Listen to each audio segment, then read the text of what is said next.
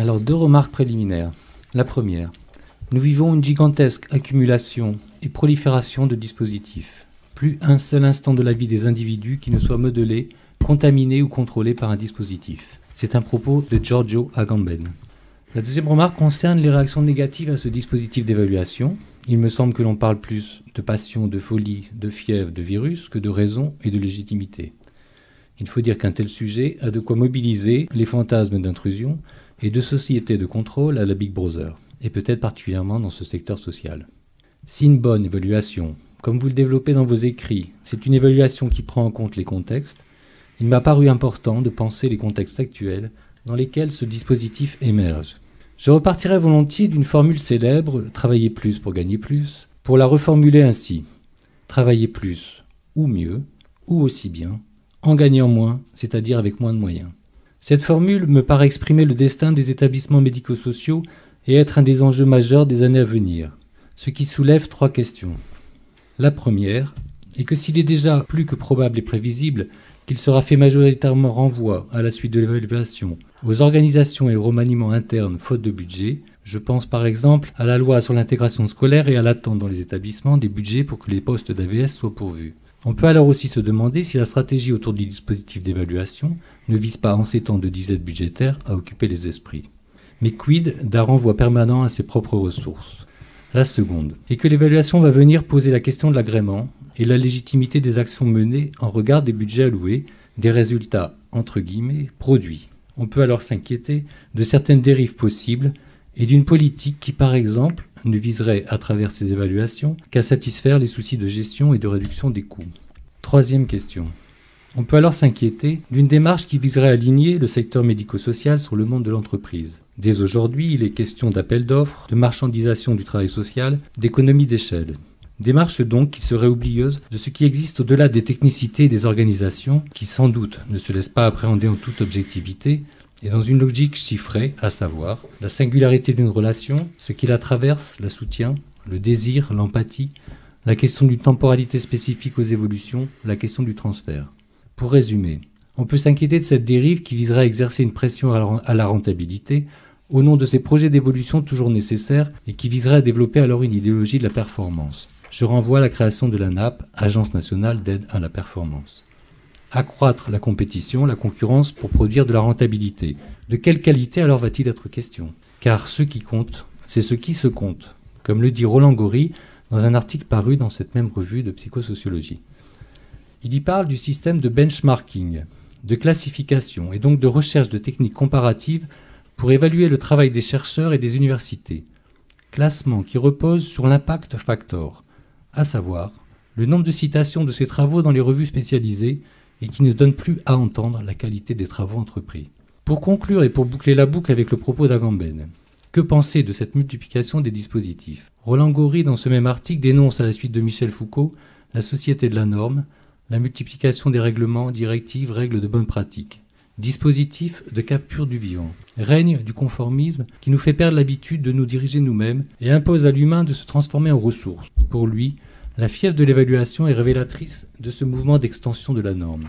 L'évaluation actuelle, dit-il, constitue la fabrique d'un pouvoir qui nous invite à consentir librement à ces nouvelles servitudes au nom d'une évaluation objective des hommes et de leur production.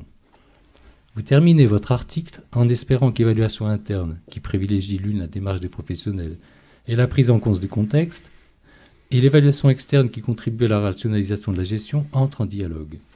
Deux ans après ce souhait, il sera intéressant au fil de l'émission de savoir si ce dialogue se dessine. Il me semble quant à moi que la pression s'amplifie, que le travailler mieux ou aussi bien avec des moyens justes conservés ou réduits est source de difficultés et de tensions dans les établissements et avec les instances publiques, et qu'il devient en effet indispensable aussi d'interroger autour de l'évaluation cette dimension de questionner l'incidence de celle-ci et du choix des modalités choisies, pour mettre au centre un travail de soutien, de réflexion, pour mettre en avant le possible, les chemins de l'évolution plutôt que la course à l'économie et à la performance. Les craintes de Dominique, vous allez nous dire si vous voulez partager toutes, mais il y en a quelques-unes qui nous paraissent justifiées, ou du moins que vous évoquez dans, le deuxième article euh, qui est paru dans, la nouvelle revue de psychosociologie. Euh, article intitulé euh, L'approche contextualisée et historiciste d'un processus d'évaluation interne au champ du médico-social, où vous nous rappelez que l'évaluation apparaît dans un contexte très particulier avec l'arrivée de la mondialisation, les hausses des incertitudes, l'orientation des politiques publiques qui tentent ou qui tendent vers plus de prévision, d'anticipation pour améliorer la performance et pour baisser les coûts. Alors est-ce que dès le départ, cette idée, est-ce qu'elle n'est pas apparue d'entrée comme l'instrument de ces politiques? Et c'est un peu ce que dénonce Dominique dans, sa chronique. Pas dans les années 80. Enfin là, là je pense que si, si, si, vous parlez de contextualisation, je pense que effectivement. Mais le bon, ce que vous rapportez là de Gori et puis et, d'autres, évidemment, je le partage.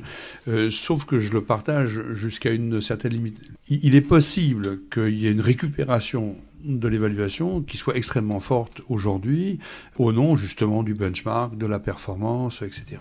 Donc là, on peut y revenir parce qu'il faudrait qu'on rentre dans les détails. Mais c'est vrai que au niveau originaire, dans les années 80, si on, on est sur toute la période de l'ingénierie sociale, etc., c'était quand même aussi l'idée d'introduire l'évaluation des pratiques professionnelles au regard quand même de l'instrumentalisation des usagers pour le bon fonctionnement des organisations. C'est là où, si vous voulez, le point de butée et le point de noblesse, je dirais, de l'évaluation, c'est que, donc je ne veux pas rentrer, vous avez évoqué euh, la, NAP, euh, vous avez raison, mais sur la, question, bon, aujourd'hui, c'est l'idéologie de la bientraitance, euh, etc. On, va peut-être on va peut-être y revenir tout à l'heure. Mais sur ce thème de la, non pas de la bientraitance, mais l'idée on ne peut pas aller contre l'idée de placer l'usager au centre des dispositifs, etc. Et qu'on fait l'évaluation pour aussi euh, voir si l'usager se sent bien traité. Maintenant, la question qui est bien posée, c'est est-ce que cette étude du point de vue de l'usager est totalement décontextualisée des moyens de l'organisation ou est-ce qu'il intègre fondamentalement les moyens de l'organisation? Et c'est pour ça que moi je défends l'idée que l'évaluation a quelque chose de noble, qui n'est pas d'ailleurs du tout hein, sur euh, l'idée de la route de Ming, sur toujours l'amélioration continue, etc. Non, non, c'est effectivement produire du savoir produire du savoir pour autrui, le partager avec autrui, et produire du savoir euh, sur moi-même pour aussi me changer avec autrui. Donc dans une visée qui est fondamentalement interactionniste. La question que vous posez et qui est réelle, c'est jusqu'où il y a une contrainte des moyens et jusqu'où il y a la construction d'indicateurs qui sont totalement construits en extériorité des organisations et en, extériorité des praticiens qui s'imposent à eux. Et là, effectivement, la dérive gestionnaire, elle est droit devant nous. Mais l'évaluation n'est pas que ça. Oui, c'est pour, rebondir, c'est effectivement, je trouve que dans les deux articles, là, ce, qui, ce que vous pointez et qui pourrait apparaître comme un paradoxe, c'est qu'en fait, il y a un fondement gestionnaire, certes, mais il rencontre un fondement tout aussi fort démocratique. Oui. Et, effectivement, vous, le notez là sur les années 80, on, on peut être que partisan de l'évaluation à un moment. Aujourd'hui, dans le contexte, ça devient plus trouble. Et donc, la question, c'est aujourd'hui, concrètement, quand, dans les interventions que vous avez faites, Comment vous, vous participez à répondre à cette passion démocratique pour le coup et pas gestionnaire au travers des processus d'évaluation?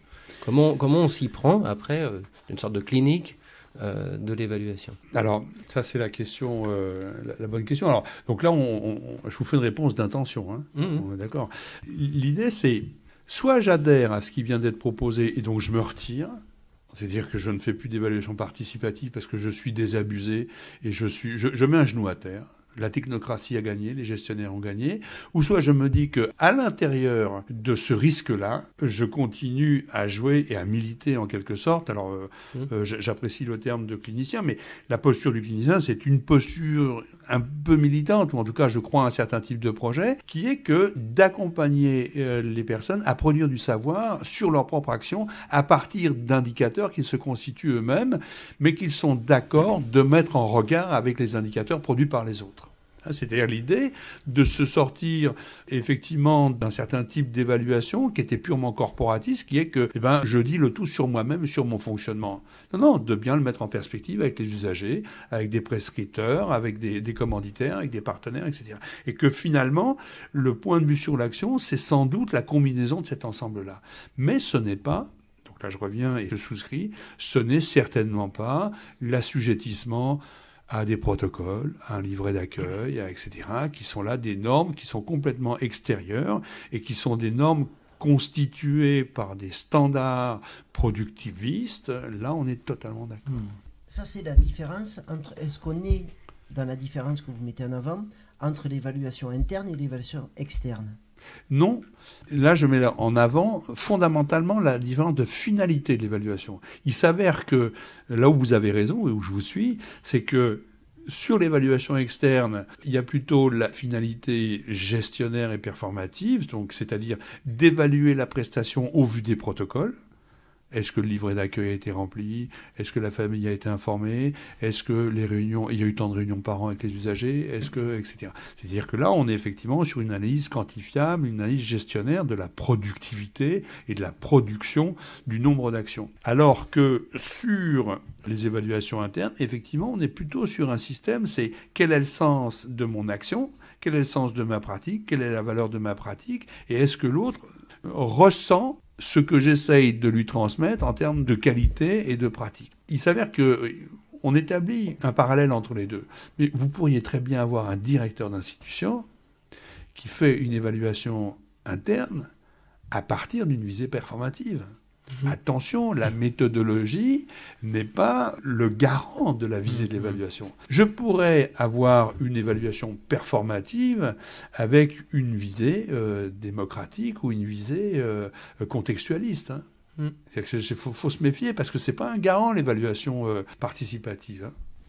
Justement, dans l'histoire du paradoxe, entre le fondement gestionnaire et le fondement démocratique, on voit aussi que c'est quelque chose qui se fait pas à pas. L'Agence nationale pour l'évaluation se construit, il y a eu des militants de tous les côtés, hein, et, un acteur fort du côté des usagers, ça a été les associations de parents ou les associations de personnes handicapées moteurs, qui ont été un acteur fort, mais pour le coup, de la dimension évaluative performative, dans l'idée de je suis en situation de handicap, j'ai le droit, comme citoyen, à avoir une prestation qui est visible, annoncée, etc., et être acteur de ma prise en charge. Et là encore, ça a complètement rencontré des logiques gestionnaires, et on, on s'est retrouvé aussi là en tension. C'est, entre la figure de l'acteur, la figure de l'assisté, enfin, on est dans une si ce serait beaucoup plus simple s'il y avait les organismes de tutelle et financeurs qui seraient les garants de la performance, et puis les usagers et les euh, professionnels qui seraient les garants de la démocratie. Mais c'est beaucoup plus compliqué que ça, me semble-t-il. Alors, votre exemple est absolument excellent, parce que il faut distinguer les personnes handicapées dont vous parlez, hmm. mais qui, qui sont capables, en capacité, de prendre la parole pour eux-mêmes. C'est-à-dire que là, j'en fais des citoyens et ils sont capables, effectivement, eux, de revendiquer une prestation, etc. La question qui est posée, c'est comment fait-on pour les gens qui ne se représentent pas eux-mêmes C'est-à-dire pour les gens les sans-voix, hein, comme on parle, euh, Gori euh, parle des, sans-voix. C'est-à-dire comment on fait pour porter la parole de ceux qui sont suffisamment humiliés, suffisamment méprisés pour ne pas avoir la parole? Là, il vous faut une médiation. Il vous faut un principe de médiation. Parce qu'effectivement, soit vous avez les parents d'enfants qui prennent la parole, et là on a sur une logique de citoyenneté, et on va tendre à l'individualisation de la prestation, et on va être euh, sur des services, des prestations qui vont être hyper individualisées. Mais qu'est-ce que ça dit ça au niveau du collectif? Qu'est-ce que ça dit, ça, au niveau de la démocratie? C'est pour ça que là, il y a des choix qui sont extrêmement forts. Mais là, vous avez des gens qui ont la parole. Maintenant, prenons euh, tout ce qui est euh, les populations euh, maltraitées, victimes de je sais pas trop quoi, etc. Et puis, si en plus vous prenez des personnes handicapées, mais que vous prenez le versant, vous avez vu dans mon curriculum vitae que j'ai fait plusieurs travaux sur la, la question du multi-handicap, du polyhandicap en France, qu'est-ce qu'on fait pour les gens qui n'ont pas la parole? Comment on les traite, cela quelle dignité on leur propose. Donc il faut bien qu'on ait affaire à des dispositifs de personnes qui tiennent la parole sur autrui pour construire la dignité d'autrui qui n'a pas les moyens de se la construire pour lui-même. Mmh. Et, là, je pense que là, l'évaluation démocratique a complètement son sens.